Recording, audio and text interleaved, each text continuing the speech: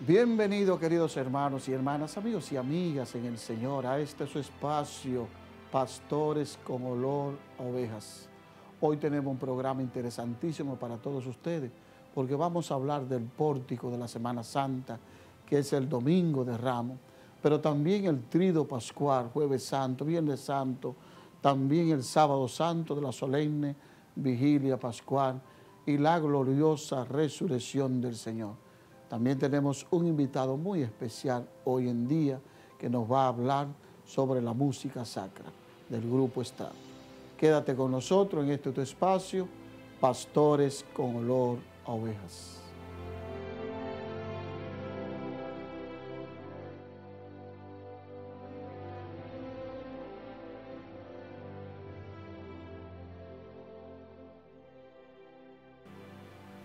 Muchísimas gracias por su sintonía en este su espacio, su programa Pastores con olor ovejas. Un programa hecho especialmente para orientar, para edificar y sobre todo para que los pastores estén cerca de la grey y el pueblo cerca de, de los pastores. Hoy tenemos un invitado muy especial que es parte de este programa también. Estoy hablando de Monseñor Raúl Versosa. Monseñor, qué gusto tenerle aquí. Muchas gracias. Yo encantado una vez más de estar con todos ustedes. De verdad que bienvenido. ¿Cómo le ha ido en todo ese trabajo pastoral? Pues la verdad que está siendo una cuaresma porque prácticamente acabamos hoy de muchísimo trabajo, pero sobre todo de encuentros con las comunidades. Yo creí que después de dos años y medio las comunidades ya prácticamente eran monótonas y sin embargo he empezado a descubrir comunidades nuevas sobre todo enlazadas con los movimientos laicales, que aquí es una maravilla y una potencia enorme. ¿Verdad que sí? A mí también me da mucha alegría tantas comunidades, movimientos, carisma, grupos, hasta grupos de música. Pero no vamos a decir nada. Mire, eh, vamos ahora entonces a leer el Evangelio del domingo de la entrada gloriosa de Jesús en Jerusalén. Está tomado del Evangelio según San Mateo, 21, del 1 al 11, pueden buscarlo en sus hogares, y dice así, cuando se acercaban a Jerusalén y llegaron a Betafé, junto al monte de los olivos, Jesús mandó dos discípulos diciendo, id a la aldea de enfrente y encontraréis enseguida una burrica atada con un su pollino, desatarlo y traérmelo. Si alguien os dice algo, contestarle que el Señor lo necesita y lo devolverá pronto. Esto ocurrió para que se cumpliese lo que dijo el profeta. Decía la hija de Sión, mirad a tu rey que viene a ti, humilde montado en un asno, en un pollino, hijo de Asemita. Fueron los discípulos e hicieron lo que les había mandado Jesús. Trajeron a la borrica y el pollino y echaron encima sus mantos y Jesús se montó. La multitud extendió sus mantos por el camino. Algunos cortaban ramas de árboles y alfombraban las calzadas. Y la gente que iba delante y detrás gritaba, Hosanna al Hijo de David. Bendito el que viene en nombre del Señor. Hosanna en el cielo. Al entrar en Jerusalén, toda la ciudad preguntaba alborotada, ¿quién es este? La gente que venía con él decía, es Jesús el profeta de Nazaret de Galilea. Palabra del Señor. Gloria a ti, Señor. ¿Qué le parece, Monseñor? Este pues mira, teniendo el Evangelio que se acaba de leer en la mano, es verdad que siempre que se vuelve a leer la palabra de Dios, siempre hay detalles nuevos. Yo voy a destacar los que hoy me han llamado la atención que nunca había predicado sobre ello, que ya antes de venir había meditado un poquito, y son los siguientes. Eh, no nos imaginemos a Jesús montado solo en un asno, sino fíjense que dice el Evangelio de San Mateo que eran dos, era la madre del asno y el hijo, el pollino. ¿Dónde iba Jesús montado? Pues seguramente en el pollino. ¿Por qué? Porque la madre sería el símbolo del que nos da la vida, sería el símbolo, vamos a decirlo así, de la iglesia. Sería el símbolo de todo aquello que es más grande que un pollino, que en fin y a cabo, como usted ha leído, es un hijo de Acémila, Un pollino es una cosa pequeñita, un pollino no tiene apenas importancia, un pollino no es ni para trabajar. ¿Esto qué nos quiere decir? Dios en Jesús se hizo tan pequeño, tan pequeño, que era casi como un niño, traducido en animal como un pollino, como alguien que solamente sirve para qué? Para servir, para alegrar la vida.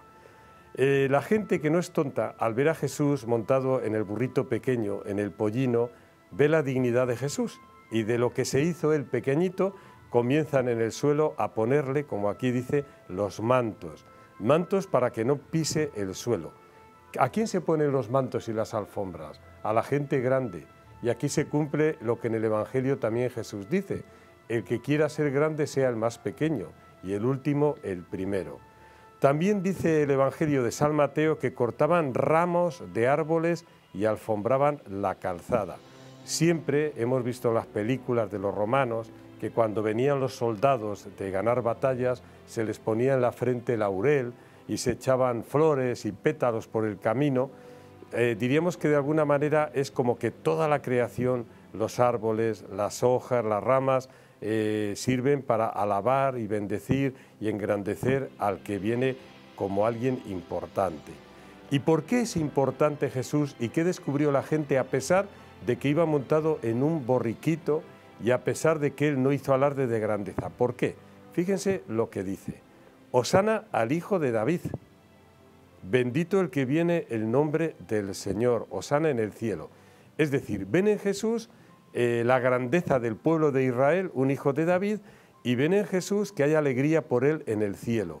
Y además le ven como el bendito, el que viene el nombre del Señor. Esto quiere decir que aquellos que estaban con los ramos y con sus mantos en el suelo reconocieron en él al Mesías, al Hijo de Dios. No, porque al entrar en Jerusalén, cuando toda la ciudad preguntaba alborotada qué es lo que estaba pasando y quién era el que entraba, la gente dice, es Jesús el profeta de Nazaret de Galilea. Se quedan en el profeta.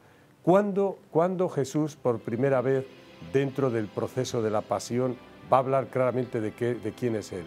Cuando sencillamente el sumo sacerdote, viendo que no podía acusarle absolutamente de nada para matarle y viendo que los testigos no eran fuertes, le dice, dime la verdad, ¿eres el Mesías el que tenía que venir, sí o no?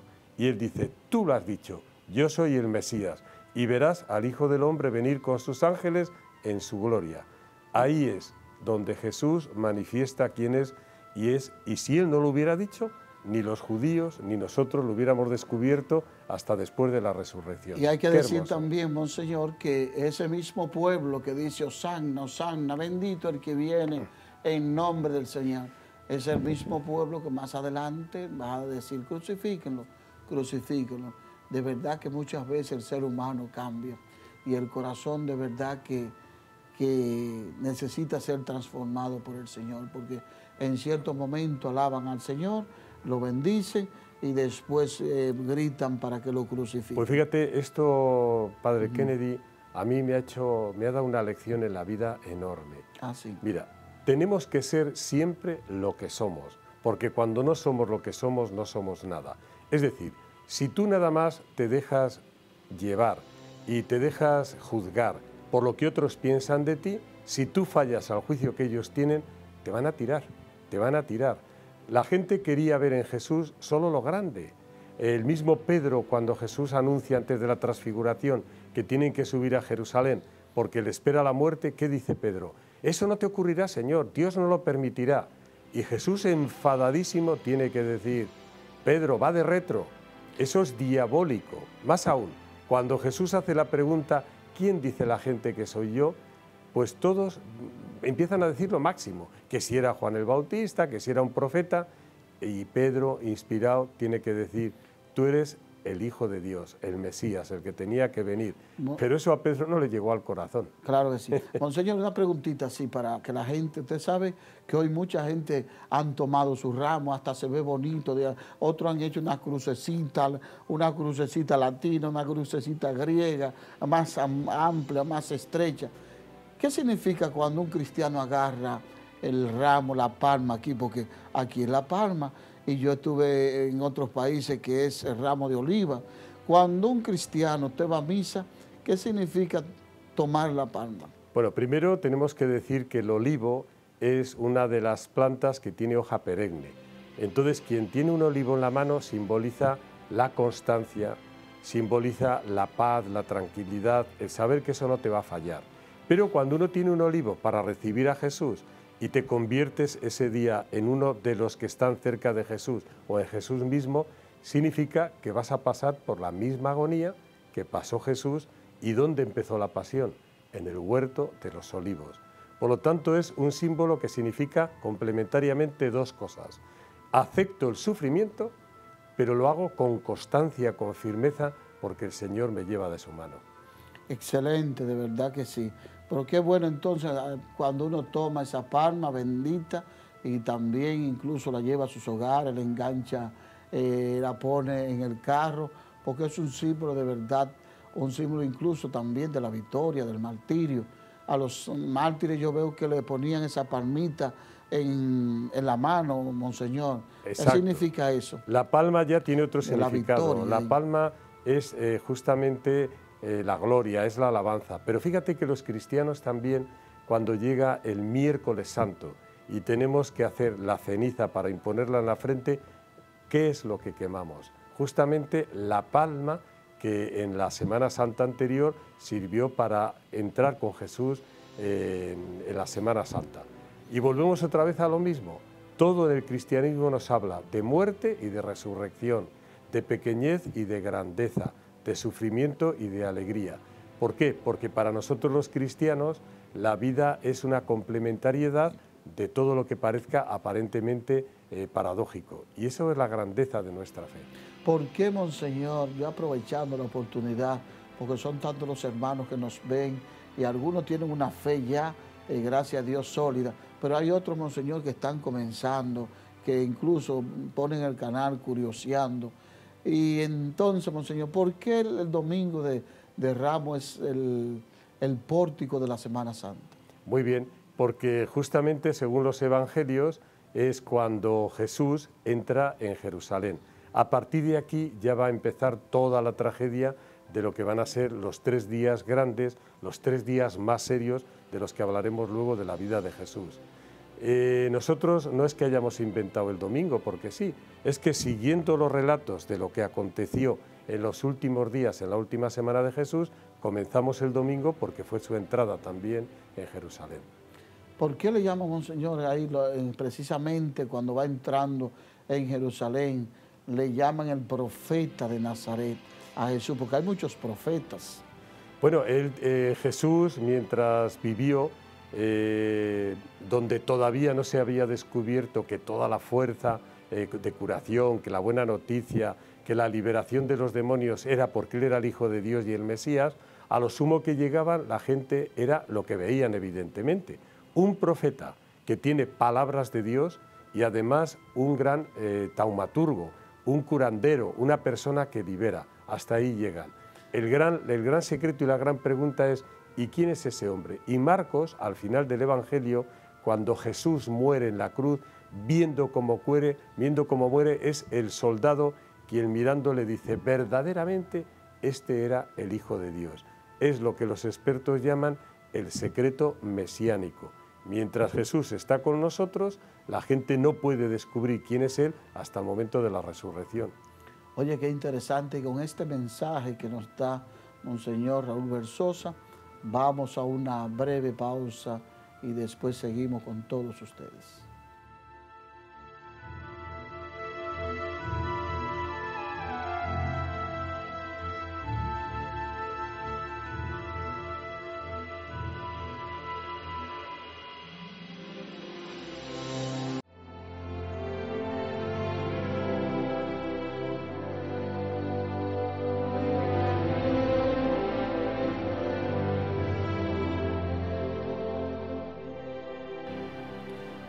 Gracias por la sintonía, gracias por estar ahí en este tu espacio, Pastores con olor a ovejas.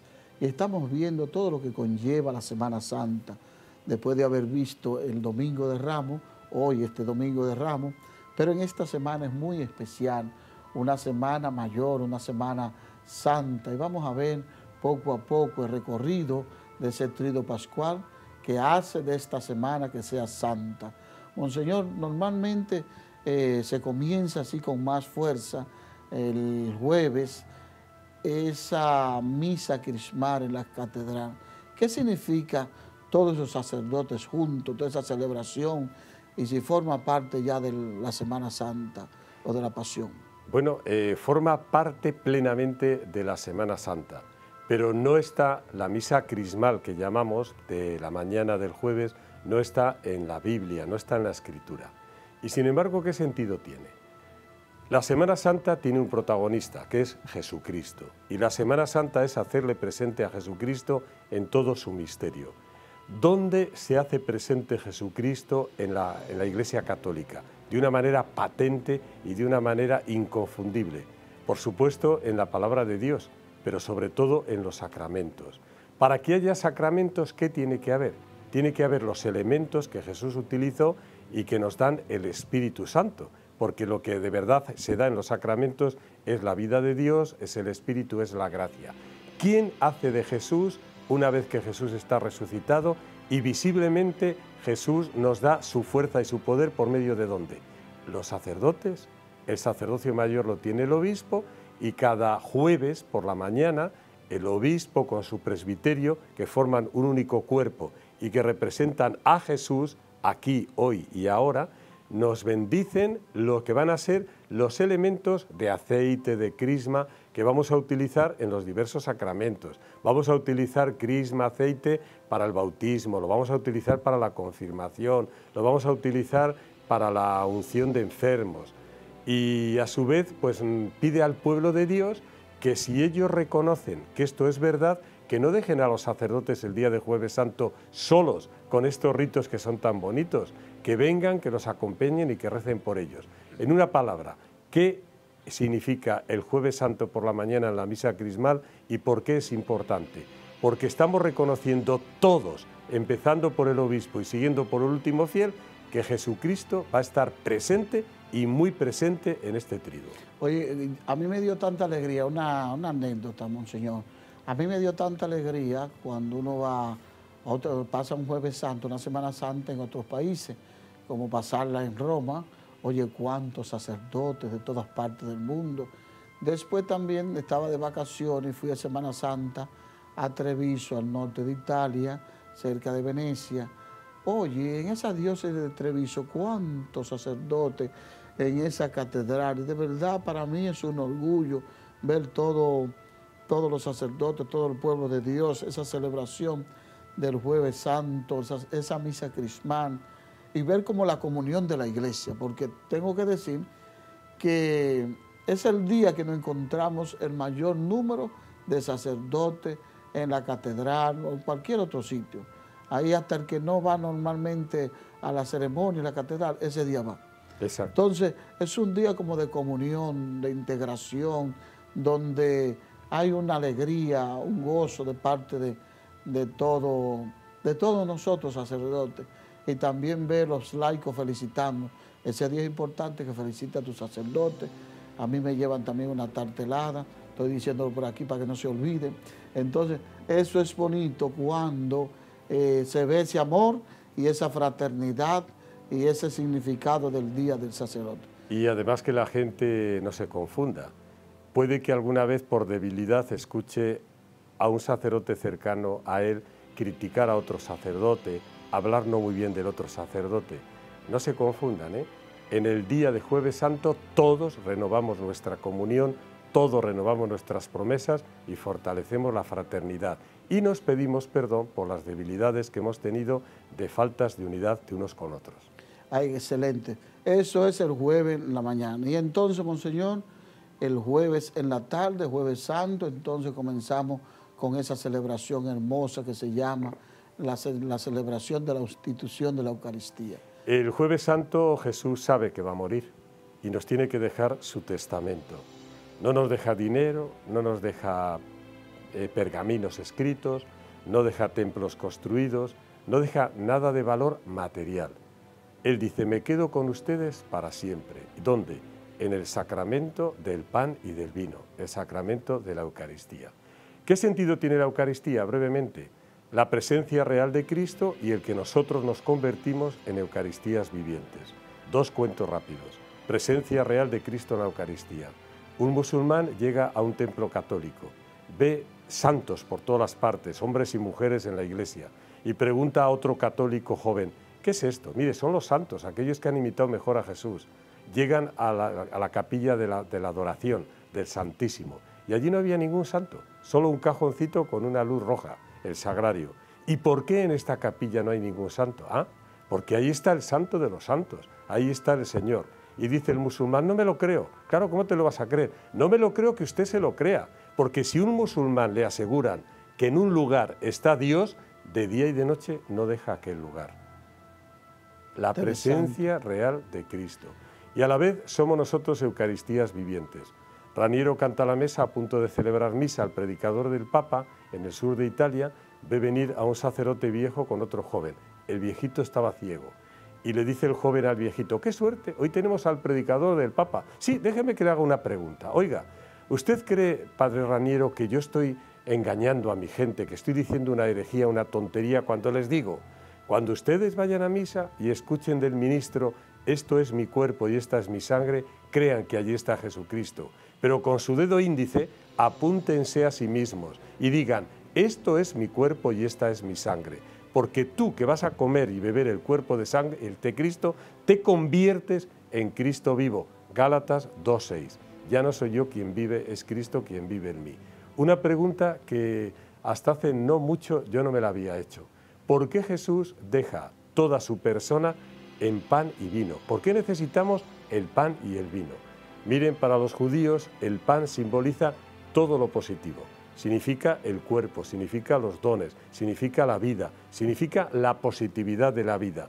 Mientras que el vino, que es la sangre, representa la enfermedad, la limitación, la negatividad y la muerte.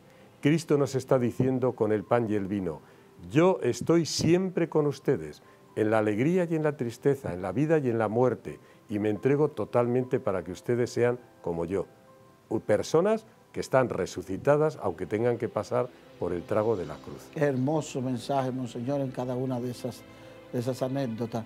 Monseñor, entonces estamos dentro del Jueves Santo ya para, para ver este, este signo tan profundo, y así es como lo, yo, yo lo veo, el lavatorio de los pies de Jesús. El lavatorio de los pies que va unido al mandamiento nuevo que nos da Jesús. Ámense unos a otros no como les aman los demás o no como ustedes quieren amarse, Ámense como yo les he amado, hasta dar la vida. El que sea el, primero tiene que ser el último y tiene que ser el servidor de todos. Este es el mensaje. Eucaristía y caridad y amor van unidos. Ay, excelente. Entonces, pasando, Monseñor, al Viernes Santo, tenemos aquí, sobre todo en República Dominicana, muchos viacrucis, cada, recorriendo cada una de las estaciones de la Vía Dolorosa, acompañando a Jesús en ese camino de dolor, también yendo hacia el Calvario. Pero en, esa, en, esa, en ese recorrer, mejor dicho, aparece la celebración de la palabra. Viernes Santo. ¿Qué significa el Viernes Santo? Mire, lo de los Vía Crucis es muy importante y se deben hacer, y por cierto que no acaben en la estación número 14, sino en la 15, ¿eh? la resurrección de Cristo, porque el Vía Crucis no acaba con el sepulcro de Cristo, sino con la resurrección. Vale. Dicho esto, no me hagan el día de Viernes Santo como aquel sacerdote que dijo en su parroquia, hoy no hay misa por muerte y defunción del jefe. No, no, no. Lo que estamos celebrando el día de Viernes Santo, aunque no haya misa, que se llaman oficios, es algo muy serio. Es la salvación de Cristo, primero, proclamada en la palabra. Segundo, orada por todo el mundo, creyentes, no creyentes, judíos, cristianos. Tercera, comulgada. Y cuarto, anunciada en el corazón y en silencio a la espera de la resurrección. Ay, interesante, interesante. Entonces pasamos a la solemne vigilia pascual, Señor. La, madre vigilia de que, claro, que solamente tiene una palabra, ¿verdad? Que es la novedad. Todo es nuevo. Es nuevo el fuego que se enciende, es nuevo el cirio pascual, es nuevo el canto de la aleluya, es nueva la comunidad, son nuevos aquellos que se bautizan, es nueva la alegría y es nueva la fuerza del Espíritu que nos va a decir, verdaderamente Jesús ha resucitado. Por cierto que ya sabemos que el movimiento, eh, la hermandad de Maus, tiene el grito de Jesús resucitó, en verdad resucitó. Y yo les digo, sí, en verdad resucitó y mi vida ya cambió porque entró en mi corazón y me hace vivir en una iglesia de sinodalidad y misión. Resucitó para cambiarme el corazón y para vivir en una iglesia de misión. Amén, amén. O sea, el compromiso completo, Monseñor. Entonces, Monseñor, en esa solemne vigilia pascual se, se habla mucho de la renovación del bautismo. ¿Qué quiere decir eso? Porque ya los que están ahí, la mayoría está bautizado. Pues quiere decir tres cosas. Uno, que yo reconozco que mi vocación es la llamada a la santidad. Dos, que tengo que volver a limpiarme de todos mis pecados como si fuera la primera vez y fuera mi bautismo. Y tercero, que tengo que volver a vivir ya en la vida desde la muerte y resurrección, bien configurado con Cristo. A mí no me basta decir que un cristiano es un discípulo, es un Cristo total, es otro Cristo. O si quieren, con palabras del Papa, me convence más decir, somos discípulos misioneros, pero configurados con Cristo. Monseñor, y entonces esos jóvenes y esas familias que están en su casa siguiendo, que no están muy motivados de ir a celebrar a la parroquia la Semana Santa y el Trido Pascual, ¿qué usted me le diría a ellos para motivarlos, para que puedan participar y puedan quedar? Incluso están pensando irse para una fiesta. ¿Qué usted pues me diría? Yo creo que deben escuchar las voces que en muchas parroquias ya se, se incluso se escribe yo me quedo. ¿Y yo me quedo por qué? Porque son los días más importantes del cristianismo, el trido pascual, mucho más que la Navidad. Son los días importantes del cristianismo. Es cierto que sin Navidad no hay Pascua de, resurrección y pasión, pero los tres días son muy importantes. ¿Y por qué son importantes? porque son días en que no basta vivirlo uno personalmente, aunque diga yo me voy a un resort, me voy a la playa, me voy a descansar y medito y rezo. No, no, no, es que son días de comunidad, de comunidad. Y si no vives esos días en comunidad, te pierdes lo mejor, el jugo de la Semana Santa. Bien, pues este, con este mensaje tan interesante y tan profundo a la vez, esta invitación de vivir la Semana Santa en tu comunidad, en tu parroquia y de no salir a ningún sitio, con ese mensaje vamos a una breve pausa y después retornamos con todos ustedes.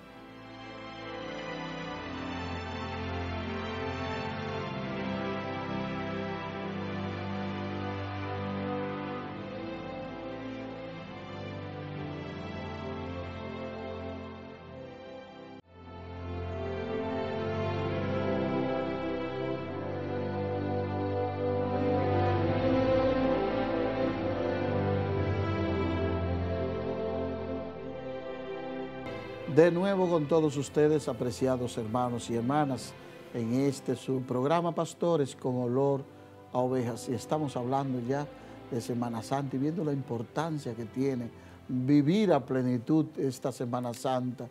Y precisamente que hoy, hoy que comienza, te invito a vivirla a profundidad. ¿Verdad, Monseñor? Sí, yo creo que sí, como hemos venido diciendo, son los tres días más grandes del misterio cristiano los tres días en que descubrimos quién es Jesús y que tenemos que hacernos las tres preguntas que San Ignacio de Loyola se hacía. Señor, ¿qué he estado haciendo por ti hasta ahora? ¿Qué estoy haciendo ahora por ti y qué tengo que hacer a partir de ahora? Excelente, Monseñor. Presente ese invitado especial que usted tiene. Bueno, pues yo tengo el gusto de presentar hoy a un artista, verdaderamente artista, pero no un artista que va a lucirse él, que es megalómano, que es narcisista, no. Un artista de la comunidad. Se llama Calistre y su grupo, el grupo Extracto, creo que ya son de años conocidos. Eh, ¿Quién es Calistre? ¿Quién es Calistre? Bueno, bueno, para todos buenas noches. ¿eh? Bueno, Calistre nace de, de, dos palabras, Calistre. Eso fue en los años 70 71, 72, que un sacerdote me quiso poner ese apodo, un sacerdote español. Por decirme tres Cali, me dijo Calistre. Entonces de ahí comenzó a surgir ese nombre y hasta ahora la gente me conoce por ese nombre. Pero el nombre mío es José Antonio Santos Antigua. Muy diferente. ¿Y cómo nace en Calistre esta vocación y este ministerio musical, sobre todo centrado en lo litúrgico? ¿Qué le motivó a Calistre para empezar a componer ya en el día de hoy casi 800 canciones, que se dice pronto. Yo creo que eso es algo que el Señor te da a ti la oportunidad para que tú te desarrolle, eh, ya sea espiritualmente, ya sea musicalmente. Eso fue lo que el Señor hizo en mí, que transformó mi forma de componer del pueblo para la iglesia. Si yo era una persona que componía para los combos, y, pero el Señor me dijo, no, tú vas a trabajar conmigo, tú no vas a trabajar. Y un día vi la necesidad de la canción litúrgica dominicana, porque yo dije, ¿cómo vamos a estar cantando lo mismo? Sin embargo, el Señor me dijo, no, no es lo mismo, sino hacer cosas nuevas. Porque la Biblia te dice a ti, no te dice, cántale un canto viejo al Señor. Te lo dice en muchísimas partes. Cántale un canto nuevo al Señor. Y eso fue lo que el Señor me inspiró a mí, tratar de hacer canciones nuevas para la Eucaristía. Ahí nació Pan y Vino, Atentos a Escuchar y, y Racimos y Trigales. Oye, tantas canciones bonitas, de verdad que yo siempre la he escuchado, pero no sabía que era del grupo Estrato de Calistri. y ahora para mí es un gusto de pues, encontrarme con, con Calistri, conocerlo y además ver el amor que tiene a la iglesia. Y a mí me da mucho gusto que estás aquí, Calistri. Gracias. Y además que hay un legado, un legado de, de esos cantos que se, escuchan en la celebración y que eh, hacen que tantas personas se comuniquen con Dios y además se inspiren en medio de las celebraciones. Para mí, la gran sorpresa de toda la vida, yo oí un sacerdote en una plena presentación del grupo Estado decir, yo fui al seminario por una canción tuya. Eso es lo que digo, un legado. Yo creo que esos son de los momentos que tú, como compositor, lo vas a sentir. Y yo siempre que hablo de eso, me motivo. Porque eh, tú tener presente algo que tú sabes qué es lo que tú buscas, es, decir, yo estoy haciendo lo que el Señor me ha dos preguntas, Calistre, muy importantes en un compositor. Una, ¿quién le ayudó a usted en los primeros momentos? ¿Quién se fió de usted? ¿Quién le dijo, adelante Calistre, que esto merece la pena? Y segundo, ¿dónde compone usted las canciones? ¿Dónde se inspira? ¿Cómo se inspira? Bueno, mira, eh, lo primero fue que lo que me motivaron más a seguir, número uno, Monseñor Osoria. Número dos, Monseñor... Eh, eh, el primero obispo es Monseñor, no, no, Moya. Ah, Monseñor Moya es, era, eh, o es, sigue siendo un loco con el grupo de eh, La primera eh, producción me la patrocinó Monseñor Moya y no era obispo todavía Monseñor Soria, era sacerdote. Ahí surge entonces la pregunta, ¿dónde surge el grupo Estrato? ahí empezamos con el grupo Estrato porque en los 10 años de la, diócesis de San Francisco de Macorís, Monseñor Moya me llamó para que yo hiciera algunas canciones para hacer un álbum para celebrar esos 10 esos años. Eso fue en 1988. Está sonando el bendito del Señor. Entonces lo estamos escuchando también. ¿Cuántos cantos bonitos, cuántos cantos hermosos? ¿Y cómo se inspira? ¿Cómo hace las canciones? La, letra, la música. Yo le, voy a ser sincero. Dios sabe en el momento, la hora, el lugar y qué tú vas a hacer. Eso es lo que Dios me hace. Yo a veces me he levantado a las 5 y a las 4 de la mañana a escribir una canción porque no puedo dormir con un tema. Eso me sucedió con la canción El eco de tu voz que yo no pude dormir en la noche. Es un tema que hicimos en 1996 en, Nueva York. Se grabó y es uno de los temas que a mí más me gusta. Poca gente la conoce porque fue, se hizo con un grupo de, de Nueva York. Se llama la, el coro de la parroquia Santa Rosa de Lima de Nueva York. Hicimos esa producción. Y así como ese, Dios sabe en qué lugar me, me llama. Todos los temas que yo hago es un llamado que el Señor me hace. Caliste, ¿y usted va la música y la letra al mismo tiempo o primero hace la letra y la música? ¿Cómo lo hace? Como cualquier compositor, lo primero que sale es la música. Porque la letra ya usted hace la música y ya usted encaja esa música, esa letra en esa música. Pero muchas veces ya la letra uno sabe lo que va a componer. Cuando se trata de eucarísticamente y, y de la parte importante que es la liturgia. Tres canciones que sean para usted particularmente interesantes y por qué, y motivadoras. Ay, mm, yo le sacaría 50, pero vamos con esas tres. ¿Inspiradora para mí o para eh, eh, que el público le ha gustado? Que al público le ha gustado. pan y vino es una canción que no hay misa que no haya sea cantado. Te presentamos el vino y el pan. Racimos y trigales, que es el himno de toda, todo ofertorio. Atentos a escuchar, que es el aleluya, pero más ahora su rostro en el pan. Pero esas canciones están ahí. ¿Qué, tiene, qué tenemos ahí? Ok. ¿Qué ah, tenemos pues ahí? bueno, esto es el libro. Sí, el libro de música que hemos hecho para la arquidiócesis de Santo Domingo y el país. Eso fue hecho aquí con todas las canciones, no todas, la gran mayoría del tiempo ordinario. Eso se hizo para el tiempo ordinario y están incluidas todas esas canciones de la primera producción, Eso eres eterno, la del jubileo ya empezó, que fue un éxito nacional, y todas esas producciones están incluidas en este libro con sus letras, con su música y sus acordes musicales. Y dice que es del tiempo ordinario, ¿por qué? ¿Es que hay tiempo extraordinario o qué pasa? No, no, sino que hay, usted sabe que hay resurrección, hay cuaresma. Eso es tiempo fuerte, ¿verdad que sí? vamos, vamos, a hablar en serio sin, sin relajar. Esto quiere decir que en un primer momento se ha dado prioridad a las canciones que en cualquier momento se pueden cantar, eh, tanto de entrada como de Señor ten piedad, como de la palabra, como de ofertorio, como Santo Cordero de Dios, comunión y despedida. Pero ahora usted está haciendo un segundo volumen que es del tiempo extraordinario. ¿Qué quiere decir? Extraordinario de los tiempos fuertes que le llamamos, ¿eh?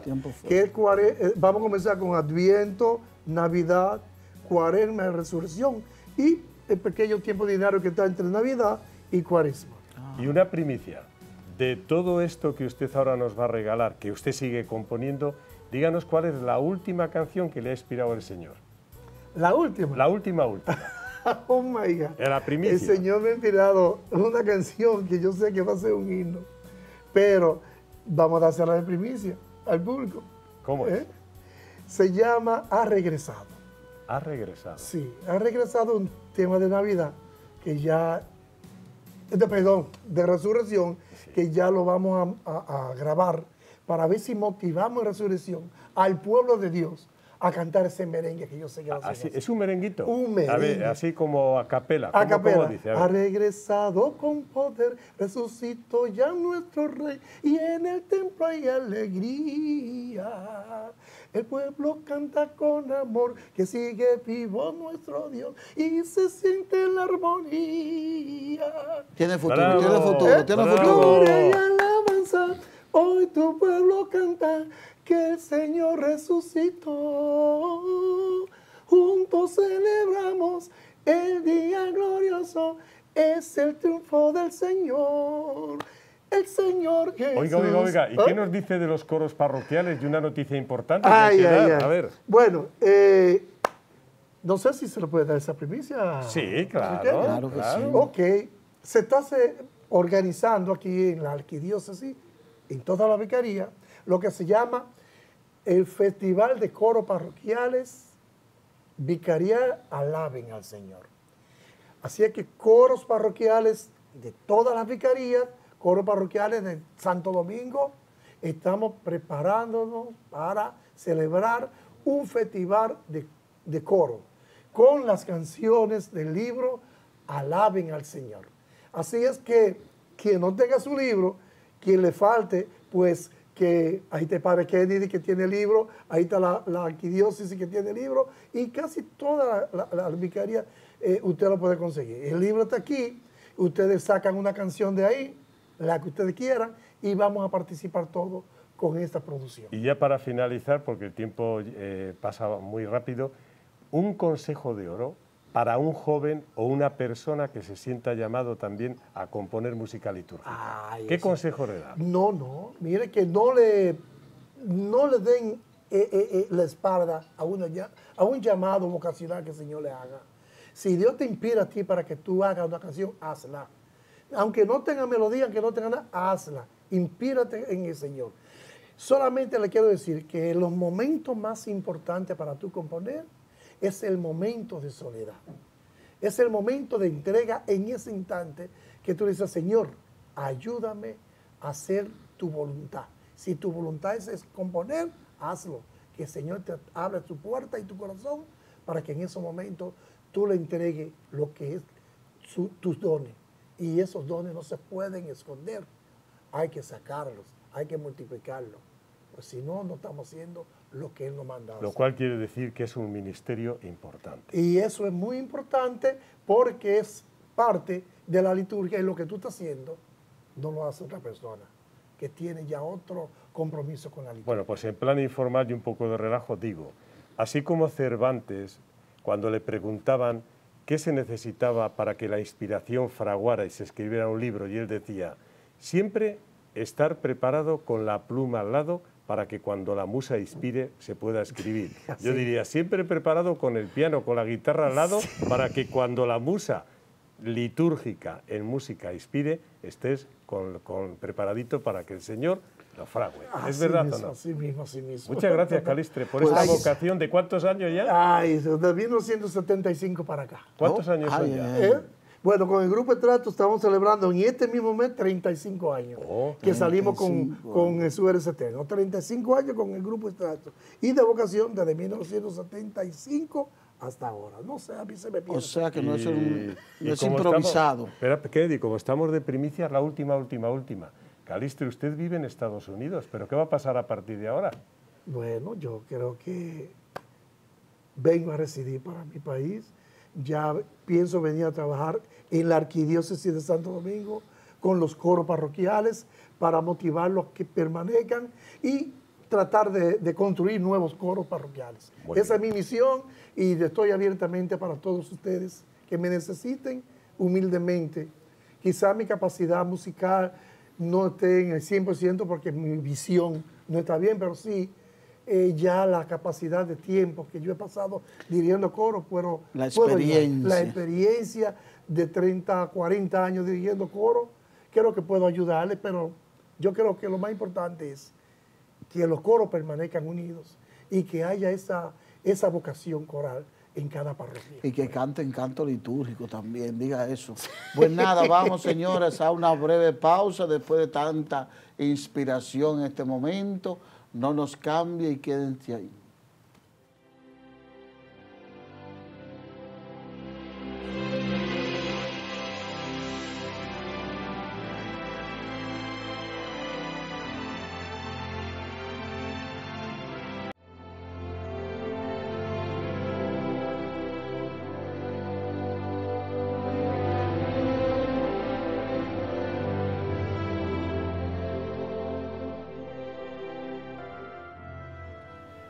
Muchísimas gracias por esa sintonía, por permanecer ahí fiel a este su programa Pastores con Olor a Ovejas. Y estamos llegando al final de este programa y como siempre vemos la agenda de nuestra arquidiócesis de Santo Domingo, de nuestro país, igualmente la agenda de nuestros pastores que siempre están trabajando de celebraciones, actividades, conferencias, charlas. Y hemos tenido una semana bien también activa tenemos que el día 23 de marzo pasado se hizo un gran encuentro con el fin de tratar temas como la síntesis continental de América Latina y el Caribe, la realidad eclesial y sociopolítica de los países y se está llevando a cabo esa reunión de los secretarios generales de la Conferencia Episcopales de América Latina y el Caribe. Por eso ahí está nuestro querido Monseñor Faustino Burgo Brisman, está participando de esta actividad con respeto también del CELAN, ¿verdad, Monseñor? Sí, la verdad es que el CELAN es un organismo que, como se suele decir, si no existiera, habría que inventarlo. ¿Por qué? Porque esta iglesia del Cono Sur, esta iglesia latinoamericana, eh, tiene una personalidad propia. Y lo dice alguien que ha estado toda su vida, la mayor parte de su vida, lógicamente, en el ámbito europeo. Nosotros desde Europa admiramos esta iglesia, apoyamos esta iglesia y nos encanta que el CELAN exista y tenemos hasta sana envidia de que esto no se puede hacer allí.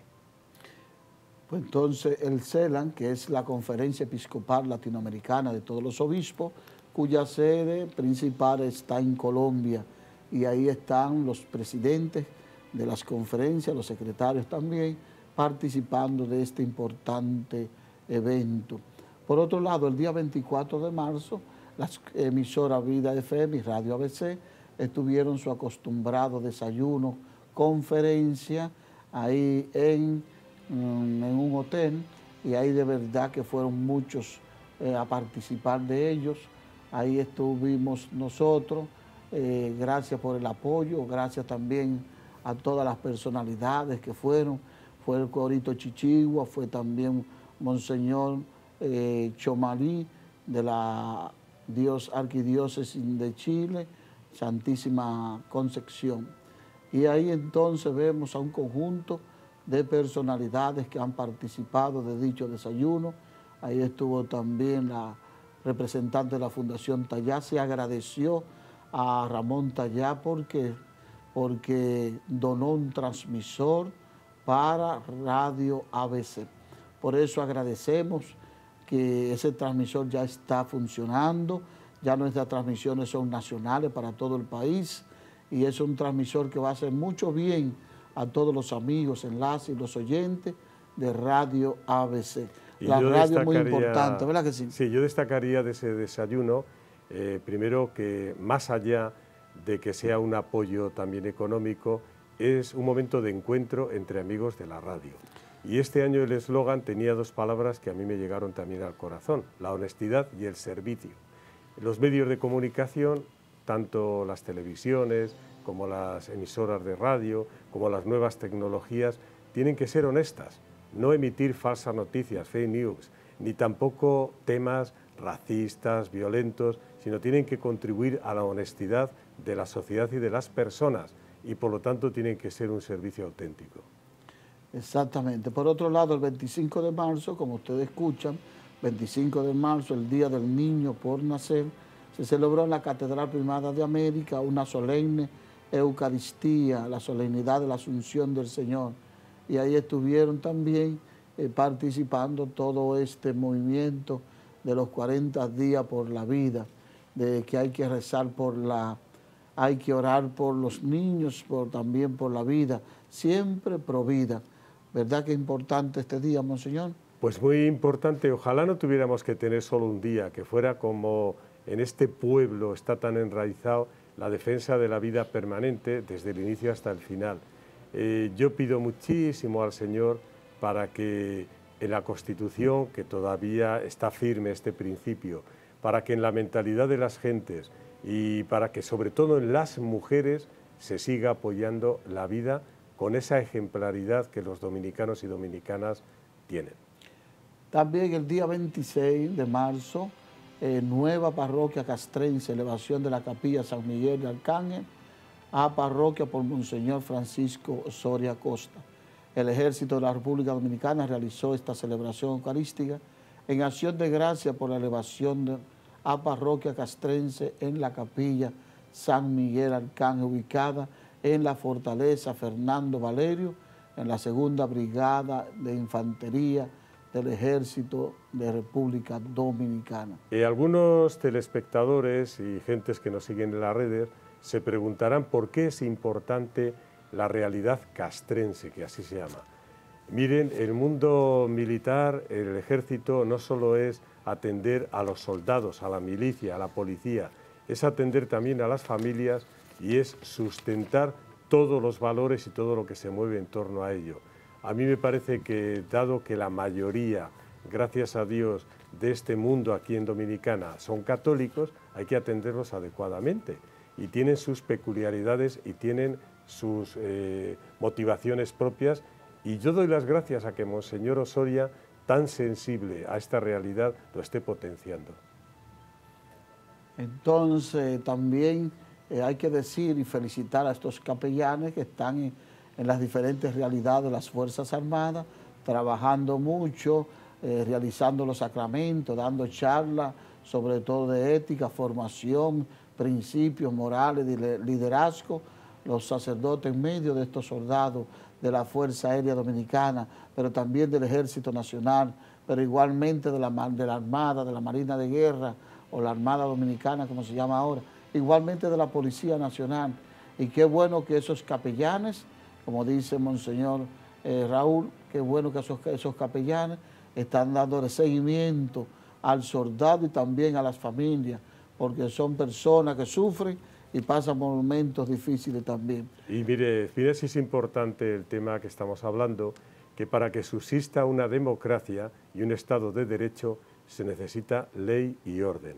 Leyes claras hechas por el pueblo, leyes emanadas por el pueblo, leyes apoyadas por el pueblo, pero leyes que obliguen y para eso necesitamos también el orden. Necesitamos servidores públicos del orden, que eso es el ejército y la policía. Pues, Monseñor, hemos llegado al final y le voy a pedir a Calistre que le dé una invitación a los fieles, a nuestros televidentes, a vivir la Semana Santa antes de recibir la bendición, Monseñor. Sí, no, eso es importante que nosotros sepamos, el, como persona de fe, lo que significa la Semana Santa. Ya se lo explicó Monseñor ahorita, los tres días más importantes de la semana, y creo que todos los feligreses, toda la familia católica se congrega más en esos tres días porque siente la presencia más de la, vivir lo que el Señor pasó durante esos tres días. Así es que yo como católico y a toda la persona le, invito a que participemos en grande esos tres días, como jueves, viernes y el sábado de resurrección, que son tres días que hay que dedicárselo puramente a la pasión de nuestro Señor Jesucristo. Pues para que podamos vivir la Semana Santa como la vivió Jesús, para que podamos vivir la Semana Santa como la vivió la Virgen María, para que podamos vivir la Semana Santa como la Verónica, la Magdalena, estos personajes tan positivos de la Semana Santa, en nombre del Señor, en nombre del Señor Arzobispo y en el mío propio, otorgo la bendición a todos los que nos están en este momento viendo y oyendo. El Señor esté con ustedes. Y con su espíritu. Bendito sea el nombre del Señor ahora y por, siempre. Nuestro auxilio es el nombre del Señor que, hizo el cielo y la tierra. Y la bendición de Dios Todopoderoso, Padre, Hijo y Espíritu Santo, descienda sobre nosotros, especialmente sobre los enfermos y más necesitados, y nos acompañe siempre. Amén. Feliz y santa Semana Santa. Hasta la próxima ocasión.